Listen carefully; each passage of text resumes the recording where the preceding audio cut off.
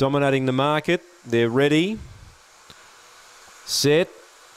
Racing on the whiskies began brilliantly. It's going to lead. Manuka Boys back fourth last. So on the whiskies by four early. Chief in charge to second. Around them goes Master Wayne. Trying to cut through Calix Bale. Then by the dram. Well back was Rockstar Austin. Shuffled out of it Manuka Boy. And Aston Tokyo last on the whiskies. Three or four in front. Chief in charge runs on. Then Master Wayne. But on the whiskies is on the lure. And on the whiskies wins well. Chief in charge probably second from Master Wayne.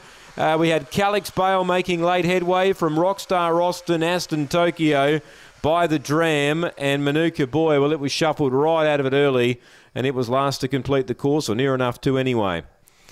So number five on the whiskies, Tony Rasmussen. This was eleven dollars when the markets went up. San Lorenzo was an odds-on favourite. It was a scratching, and then it got into as much as four dollars on the whiskies, and was crunched into two dollars ninety just prior to the jump. So it began brilliantly straight to the lead, gets the money over number nine, Chief in Charge. He's stuck on well. And Master Wayne, number eight, runs third ahead of six, Calix Bale, two and a half by half a length. Five, nine, eight, and six. Five, nine, eight, six on the 11th tonight. 368 that early sectional, 816.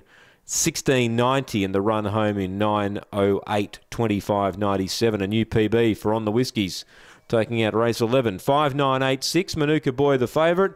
Yeah, he um, began only fairly and he was shuffled back out of it, and you can forgive that run. He just didn't have much luck at all to, do, to tell you. Um, and yeah, he'll be safe for another day. 5986 after race 11.